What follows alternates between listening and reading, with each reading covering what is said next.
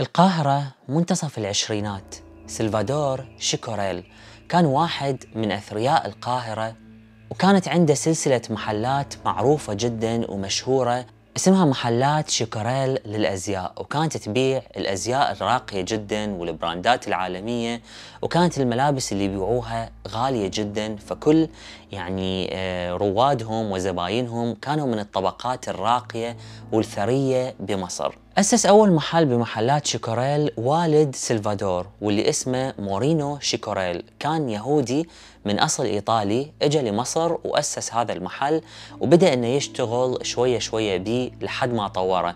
بعد وفاة مورينو هذا استلم ابنه سلفادور المحل وبدأ أنه يطوره أكثر وصار سلسلة من المحلات وصارت من أشهر محلات الأزياء بالقاهرة. المحلات هاي كانت تجيب ثروة طائلة لسلفادور عايشته حياة مرفهة مثل حياة الأمراء والنبلاء.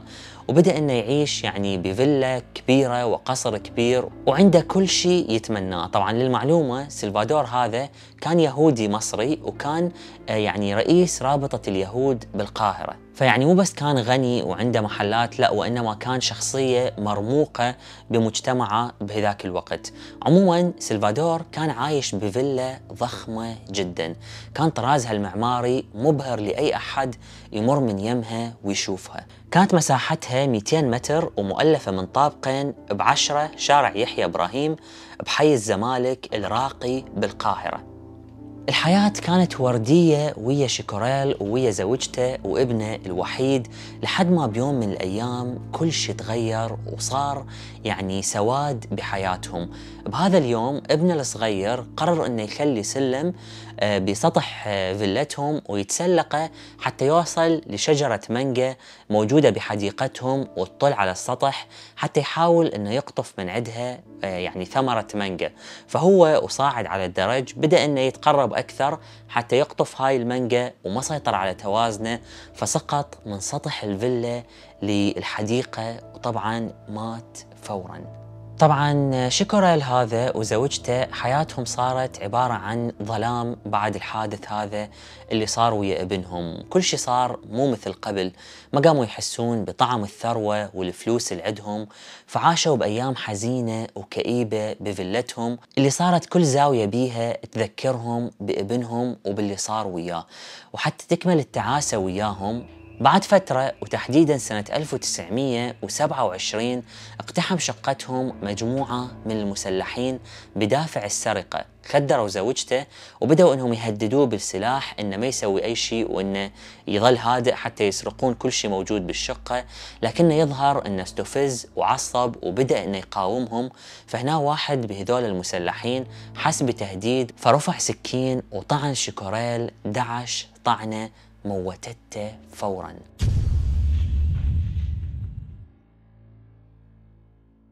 طبعا الطعنات كانت بأماكن مختلفة بجسمه آه، وطعنوه بوحدة من غرف الفيلا هاي نفسها. وللأسف ما قدر أنه ينجو من هاي الطعنات ومات. أما زوجته فصحت بعدين من المخدر اللي خدروا له وراحت للشرطة وبلغت على الموضوع وهي بصدمة جدا كبيرة. لحسن الحظ بعد كم يوم تم التعرف على الناس اللي اقتحموا شقتهم وتم يعني سجنهم وانحكم عليهم كلهم بالشنق. اتضح إنه الموضوع هذا والجريمة هاي كانت كلها من تدبير خريستو اللي هو السايق السابق لشيكوريل السايق الخاص مالته واللي طرده قبل فترة قليلة من الجريمة بسبب سلوكه السيء. فحتى ينتقم من عنده قرر إنه يسرقه آه، يعني بالاتفاق مع سائقهم الجديد اللي هو سائق زوجة شيكوريل الجديد وأيضا شخصين ثانيين. اقتحموا الشقة ثلاثتهم وبدأوا يحاولون إنهم يسرقون لكن الموضوع تحول لجريمة وخرج عن سيطرتهم. بالرغم أن شوكوريل كان مسالم جدا وبعيد عن المشاكل وكان كلش زين ويا هذول الناس يعني حتى لما انفصل هذا السايق كان زين وياه وبالاتفاق تم الموضوع وانطاه تعويض إلى أنه قرر أنه ينهي حياته. عموما زوجته ما تحملت هاي الصدمة يعني أيامها صارت أسوأ من قبل ابنها وزوجها وبحوادث غريبة ومرعبة بنفس الفيلا وبفترة متقاربة جدا كان الموضوع صعب أنها تتحمله. وبعد بس 40 يوم من وفاة زوجها راحوا لها الجيران بعد ما غابت عنهم ويعني أخبارها انقطعت. فوجدوا أنه زوجة شوكوريل هاي كانت ميتة بوحدة من غرف الفيلا أيضا بظروف غامضة. انقال أنها هي اللي هيك سوت آه، باستخدام السم. وأيضا قال أنه أكو ظروف غامضة سببت أنها تلقي وهي مرعوبة بهاي الشقة وميتة من الخوف. أكو كثير من الأقاويل المتضاربة لكن بالنتيجة انوجدت أيضا ميتة بالفيلا بظروف غامضة وغريبة مثل ابنها وزوجها. بعد هالحوادث المرعبة الفيلا انغلقت بالسلاسل وتشمعت بالشمع الأحمر وصار ممنوع أنه أي أحد يعني يأخذها لحد ما بعد مرور سنوات بدأوا يأجروها ناس ثانيين ولا واحد بيهم طول فوق الشهر. كلهم كانوا يقولون إنه الفيلا مسكونة وبيها طاقة غريبة جدا ومرعبة وإنه شغلات ما لها تفسير ومخيفة كانوا يشوفوها بمنتصف الليل بالفيلا. بعد تكرار الشكاوي هاي من الناس اللي سكنوها تم غلق الفيلا من جديد لسنوات هالمرة طويلة. وخلال فترة إغلاقها هاي الجيران بدأوا يشتكون أنه يسمعون أصوات عزف بيانو جاية من وحدة من غرف الفيلا. لما كانوا الشرطة يعني يخبرون طبعا الشرطة لأنهم يتوقعون أنه بيها أحد اقتحمها فلما يروحون الشرطة يلقوها مقفلة وما يلقون أي أحد بداخلها الموضوع تكرر أصوات عزف بيانو وأيضا بالليل وهم يمرون بالشارع اللي بجانب الشقة. كانوا يشوفون من وحدة من الغرف المظلمة شخص واقف وهو ينظر لهم. كانت تنسمع بداخلها صرخات وظلال يشوفون بيها وأصوات غريبة وحيوانات قطط مثلا أو كلاب كانوا يدخلون للفيلا وما يطلعون منها بعد. فكانت كثير من الإشاعات تدور حولها هي اللي منعت إنه الفيلا هاي تتأجر أو إنه تنشرة أو يسكنها أي أحد لمدة 30 سنة. 30 سنة ظلت بهم الفيلا فارغة وغير مسكونة. وبعد 30 سنة وعن طريق الصدفة راح يسكنها الضابط والملحن أحمد شفيق أبو عوف وعائلته ويعيشون أرعب أيام حياتهم بهاي الفيلا. شنو قصة الفيلا المسكونة والأحداث الغريبة اللي صارت ويا عائلة الفنان عزة أبو عوف واللي حكوها بنفسهم خلال حياتهم وشهدوا عليها كثير من الفنانين. قصة اليوم وقضية اليوم. هي قضية من صدق تقشعر لأنه عليها كثير من الأدلة ويمكن تكون يعني من أوضح القصص اللي انحكت عن الجن أو الأشباح واللي شهدوا عليها كثير من الشخصيات الموثوقة والمشهورة. أنا ساري حسام وهسه 12 ونص.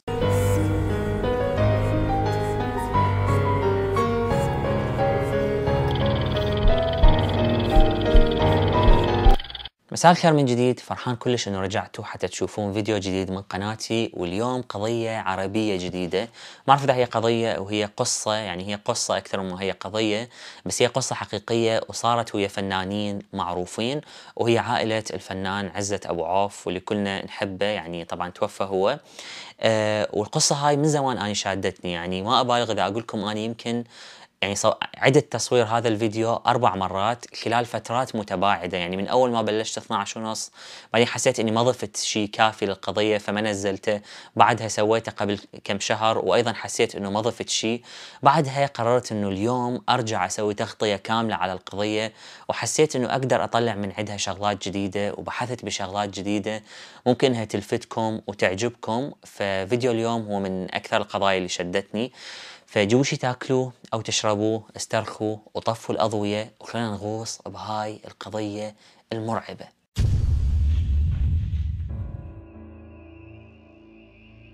Okay مثل ما حكيت لكم فيلا شيكوريل بعد الحوادث الغريبة اللي صارت بيها ظلت مغلقة لمدة 30 سنة. ما حد يريد يعيش بفيلا مسكونة وينسمع منها أصوات بيانو. وظل شخص آه، غامض ينظر للناس من الشباك. كان كثير من هاي الأقاويل منعت أي أحد أنه يأجرها ل 30 سنة. بعد 30 سنة بالستينات يعني مر من يم هاي الفيلا الضابط والملحن أحمد شفيق أبو عوف واللي كان متعين جديد بدائرة اسمها مجلس الفنون كان سياجها ملاصق لسياج فيلا شيكوريل بالزمالك أيضا. فكل ما كان يفوت من يم هاي الفيلا كان ينبهر بجمالها وبعدها يروح الشغلة وبهذا الوقت آه، كان أحمد يدور أصلا على مكان جديد ينتقل له بيت شقة يعني كان يدور لمكان حتى ينتقل إليه ويكون أيضا قريب من شغله. سيسي اللي هي مرت أحمد اي هي هيك كان اسمها. كانت كل ما تمر وياه من يم هاي الفيلا تقول له أنا أريد أعيش بهذا المكان أريد أعيش بيها. هاي حلمي إنه يكون المكان اللي نقضي بيه كل حياتنا. فظلت إنها تزن عليه إنهم ينتقلون ويعيشون بهاي الفيلا. طبعا الأحداث الغريبة كانت تصير على مدار 30 سنة لكن تعرفون ورا ما يمشي 30 سنة من الحوادث اللي صارت بيها يقل الحكي بالموضوع. فما كانوا يعرفون ولا أحمد ولا زوجته سيسي الرئيسي بكمية التاريخ الأسود والإشاعات اللي موجودة على فيلا شيكوريل. كانت مجرد فيلا حلوة وعاجبتهم وشايفيها أنها متروكة وما حد عايش بيها. فأخيرا وبعد زن كبير اقتنع أحمد أنه ينتقلون من منطقتهم ويعيشون بهاي الفيلا. بعد أسئلة بسيطة ويا الشخص اللي كان يملكها بذاك الوقت تفاجأ أنه سعر الفيلا أيضا ما كان عالي جدا مقارنة بحجمها وجمالها وأيضا المنطقة اللي هي بيها. فكان الموضوع مناسب جدا بالنسبة لهم. فاشتراها بسرعة وانتقل هو وزوجته وأولادهم حتى يعيشون بيها. طبعا بهذا الوقت كان عنده ثلاث أبناء ابنة عزت وبنته مها وبنته منى. أول شيء استغربه إنهم لما راحوا للفيلا راحوا وياه قوة من الشرطة. هم اللي فتحوا له السلاسل وخروا الشمع الأحمر وقالوا له أنت راح تعيش بالفيلا هاي على مسؤوليتك. وهذا أول شيء استغربه لأنه كان بعده ما يعرف على التاريخ اللي كان ينحكي عن هاي الفيلا طبعا استغرب شوية لكنه ما حاول إنه يعني يدور بالموضوع وهو أصلا ما كان يؤمن بالماورائيات وهاي الأمور فما اهتم كلش وعادي قرر إنه يدخل ويعيش بيها ويعني ما يهتم لأي كلام من كلام الشرطة. حتى بعض الطراطيش الكلام اللي كانت توصل له إنه الفيلا مسكونة ما كان يصدقها لأنه ما كان أصلا مؤمن بوجود شيء ممكن إنه يسكن الأماكن. الأمور الغريبة بدت ويا عائلة أبو عوف من أول أيام سكنوا بها الفيلا. طبعا أول أيام قضوها كلها وهم ينظفون الفيلا لأنها كانت متروكة من 30 سنة. بعد ما نظفوها أخيرا ورتبوا أمورهم بدأوا أنهم يريدون يرتاحون وينامون بالليل لكنهم كل يوم بالليل كانوا يسمعون أصوات حركة وخطوات بجدران الفيلا وبممراتها وبالطوابق العلوية. بالأول اعتقدوا أنها ممكن تكون الفئران لأنه الفيلا متروكة لمدة 30 سنة فطبيعي أنه يكون بيها يعني حشرات وفئران منتشرة بالفيلا. الأم خصوصا كانت تشتكي من هاي الحركة يعني ما تقدر تنام بسبب الأصوات الغريبة اللي كانت تسمعها. موضوع الحركة هاي تطور بعدين ويا الأم إنها بيت تحس بأنفاس قريبة من عندها وتحس إنه أكو أحد يراقبها. يعني شايفين من تلتفتون بسرعة تحسين إنه أكو أحد وراكم لكن ما يطلع أكو أحد. وتكرر وياها هذا الموضوع أكثر من مرة لدرجة إنها اشتكت لزوجها من الموضوع وقالت له إنه اني هيك وهيك دا أحس وأكو شيء غريب بهذا البيت. طبعا زوجها مثل ما قلت لكم ما كان يصدق بهالأمور فقال لها يعني شنو تخبلتي شنو الموضوع؟ يعني أكيد ماكو شيء وأكيد هاي تهيؤات ولأنه نقلنا لمكان جديد. وبدأ يلومها انه مو انت تريدين هاي الفيلا خلاص يعني لا تطلعين بها حجج وما راح أروح لغير مكان وتعودي عليها. فبدت تحاول إنها تتأقلم ويا الموضوع وتقتنع إنه بالفعل هاي تهيؤات. لحد هاي اللحظة كان الموضوع كله مجرد أحاسيس ومجرد أنفاس ومجرد أصوات وخطوات. لحد يوم من الأيام كان الأب مسافر بي. كان مسافر لإحدى المحافظات على مود شغل وكان جاي يم الأم سيسي أخوها اللي هو خال أبنائها عزت ومها ومنى. اجى يمهم حتى يقرأ ويبات بالفيلا مالتهم ويعني يقضي يمهم كم يوم وبعدها يرجع لبيتهم. بالفعل بأول ليلة إجا حتى يبات بيها يعني يمهم كان دا يقرأ بأحد الكتب ودا يقرأ دروسه بغرفة الأب. وبالمناسبة الغرفة هاي هي نفس هالغرفة اللي انقتل بيها شكوريل من 30 سنة. المهم الخال وهو يقرأ بهذا الهدوء مال البيت بدأ يحس إنه بدأ ينعس فنام على الكتاب. وهو نايم بدأ يحس بأنفاس قريبة من عنده وبصوت خطوات دا تتقرب من عنده ففز من النوم وهنا انصدم بالمنظر اللي شافه. شاف قدامه بالضبط دا يدخل من باب الغرفة رجل غامض أول مرة يشوفه بحياته كان بملابس تشبه ملابس القس قطعة بيضة هنا وكان مبين إنه يعني بمنتصف العمر وشعره كان كله أبيض. كان منظره مرتب جدا وأنيق لكنه كان غاضب وعيونه جاحظة جدا وحمراء. طبعا هذا الوصف هو بالضبط الوصف اللي وصفه الخال. طبعا أول رد فعل لما أحد يشوف شخص ما يعرفه مقابيله بهذا المنظر المرعب إنه يدفعه لكنه لما اندفعه لاحظ إنه إيديه مرت من خلال هذا الشخص هنا الخال هذا ركض بسرعة وراح لغرفة الأم وصحاها من النوم وهو مرعوب وما يقدر أنه يأخذ أنفاسه وحكالها على كل الموضوع اللي صار وياه. حسب ما يقول عزت ومها بعدين بلقاءات قالوا إنه خالهم اللي كان عمره 24 سنة بس يعني شعره حرفيا شيب بعد هاي المنظر وهذا الصدمة اللي صارت وياه. من زادت الأمور غرابة يوم بعد يوم هنا الأم سيسي قررت إنها تشكي لأمها، أمها كانت من أصول تركية وكانت متدينة فلما حكت لها بنتها هذا الشيء اقترحت عليها إنه يجيبون أحد يرقي لهم المكان وينقرى به حتى يشوفون شنو الموضوع فبالفعل جابوا شيخ وجابوا قس وجابوا حكام يعني لثلاث ديانات المسيحية والمسلمة واليهودية جابوا من عندهم رجال دين وبدأوا يقرون بالفيلا ويسوون طقوس معينة والثلاثة قالوا إنه أكو طاقة غريبة بهاي الفيلا وإنه بالفعل الفيلا مسكونة.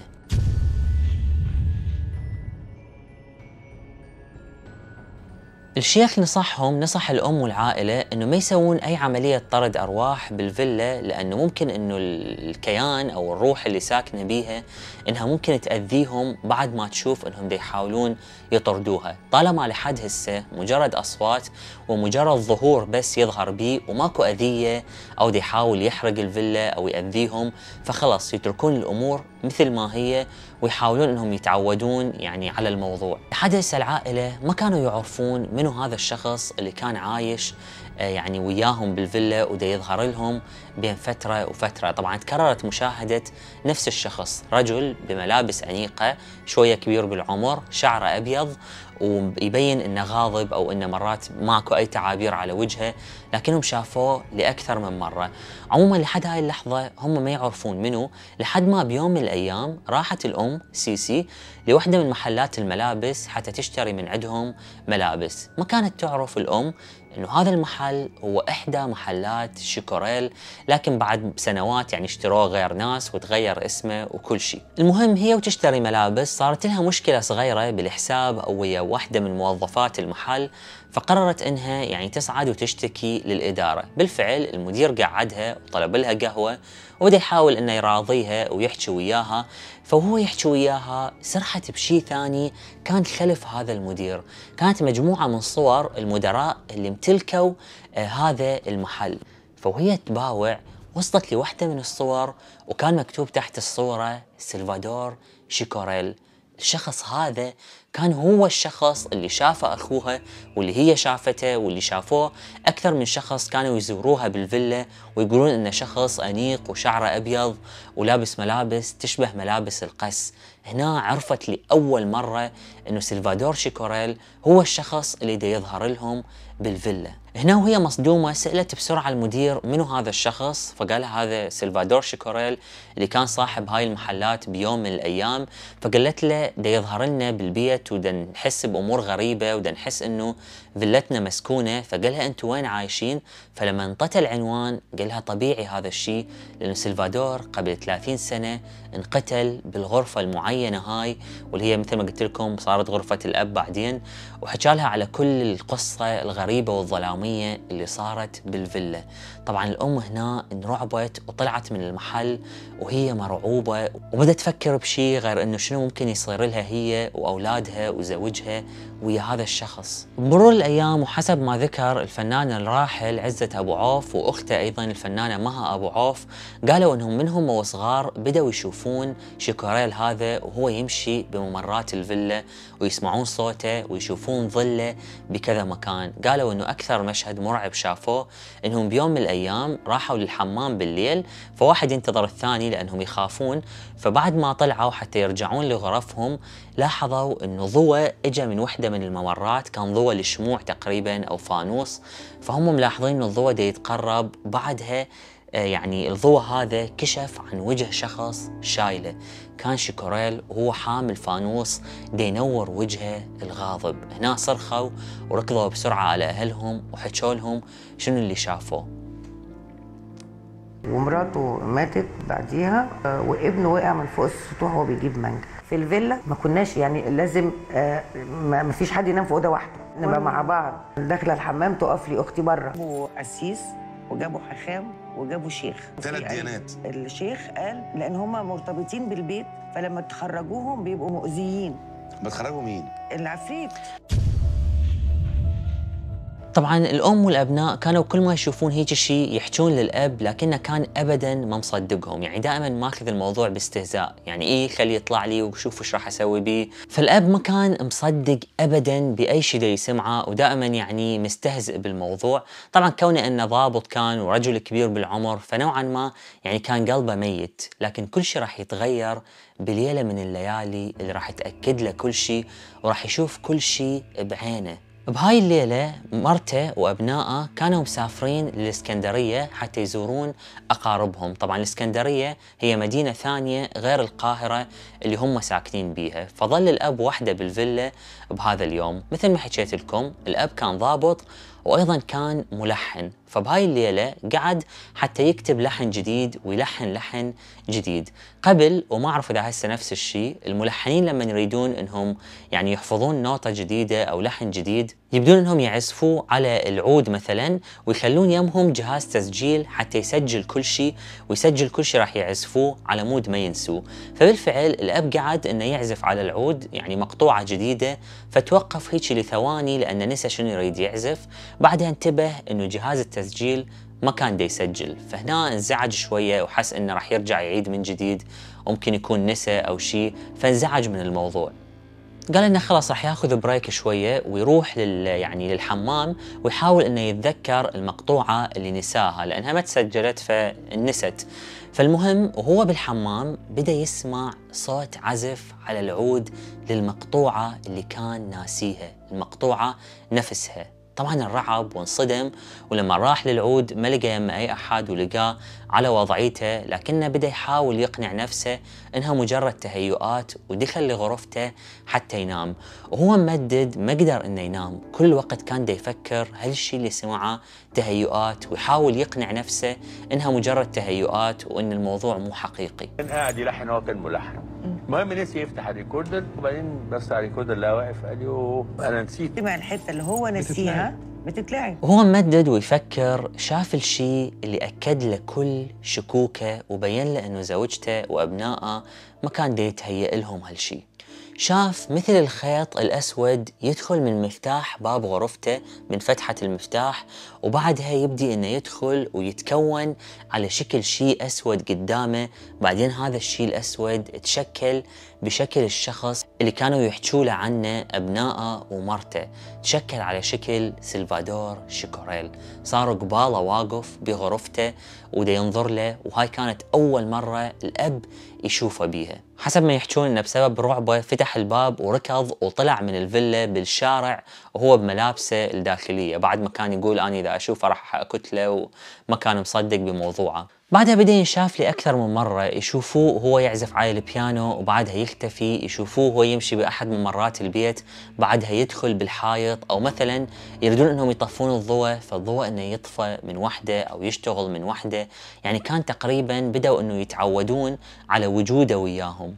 طبعا العائلة ظلت كلها عايشة بالبيت لأنه شيكوريل ما كان دا يأذيهم يعني كان مسالم مجرد يظهر لهم ويرعبهم لكنه ما دا يسوي شيء مؤذي وياهم. صار عندهم أيضا آه، يعني بنتين بعد آه، يعني البنتين والولد اللي عندهم فهسه صار عندهم أربع بنات وعزت الولد ويعني بيوم من الأيام حسب ما يحجون عزت وأخته إنهم كانوا كلهم قاعدين دا يقرون بإحدى الغرف فبدأ واحد يقول للثاني أنت جيب لي هذا الكتاب أنت جيبي لي هذا الكتاب. يعني يتجادلون وهيك شيء فقالوا إنهم شافوا بعينهم الحقيبة مالتهم حقيبة المدرسية صعدت بالهواء وطلع من عندها الكتاب اللي هم دا يريدوه وسقط على الأرض. فطبعا كلهم صرخوا وهربوا من الغرفة. ظلوا يشوفون شيكوريل لسنوات كلهم وصفوه إن رجل ستيني أنيق بشعر آه، يعني أسود وملابس أنيقة تشبه ملابس القس وإنه كان يظهر مرات وإنه تقريبا ظل يعني كان شبه شفاف مثل الشبح اللي نشوفه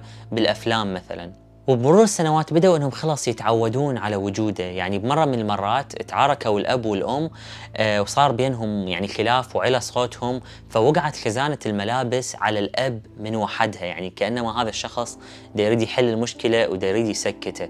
وأيضا بمرة من المرات آه جدتهم كانت جاية ويعني بايته يمهم بهذا اليوم فقالت لهم منو هذا الرجل الغريب اللي كان يدخل للغرفة ويراقبني وأني نايمة؟ فقالوا لها لا لا تخافين هذا الشبح اللي عايش ويانا طبعا بعد ما دخلت لفلتهم ابدا فكانوا هم يعني مستوعبين انه هم عايشين ويا شبح بالبيت أو هو عايش وياهم وانه طالما ما يأذيهم وتعودوا إنه يشوفوه لاكثر من 20 سنة فالموضوع صار عادي بالنسبة لهم. بالثمانينات سوى عزة فرقة غنائية كان هو وأخواته سموها الفور ام وبدأوا يحيون حفلات ويحيون أعراس وبدأوا أنهم يشتهرون كوحدة من أشهر الفرق بالثمانينات. أيضا عزت ومها بدأوا يمثلون وبدأوا أنهم ينشهرون أكثر وأكثر كممثلين وتقريبا كلنا نعرفهم أو شايفيهم بأفلام. طبعا الأب مات بهاي الفترة وظلوا عايشين ويا أمهم بنفس الفيلا. طبعا بحكم إنهم صاروا فنانين وممثلين بدأوا يتعرفون على فنانين ثانيين وبدأوا يجوهم للفيلا ويباتون يمهم مثلا. ولحد هاي اللحظة كان موضوع شبح شيكوريل هو موضوع معروف بالعائلة بس يعني على نطاق العائلة ما حاكين به علنا.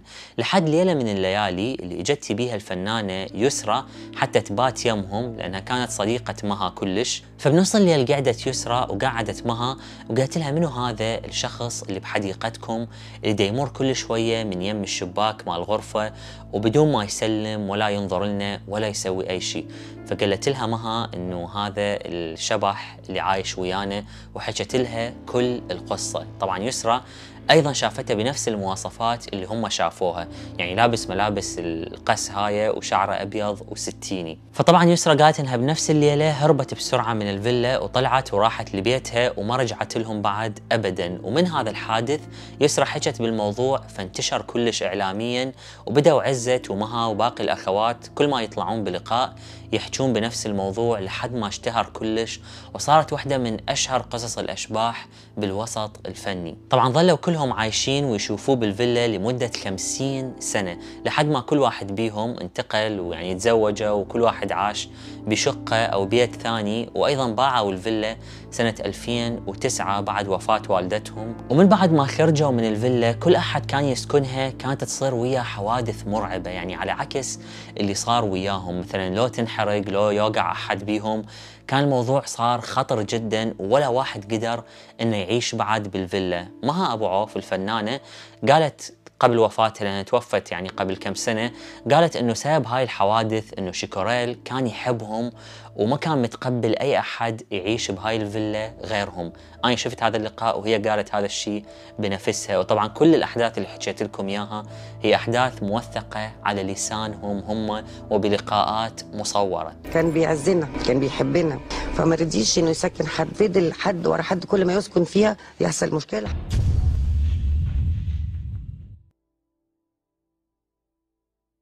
طبعا بعد ما غادروا الفيلا كل الإخوان ما بدأ يصير وياهم أي شيء غريب عدا مها اللي استمرت وياها الأمور الغريبة وقالت إنها ظلت. تسمع أصوات وتسمع همسات وتشوف حركات وتشوف شغلات آه، يعني من العالم الآخر.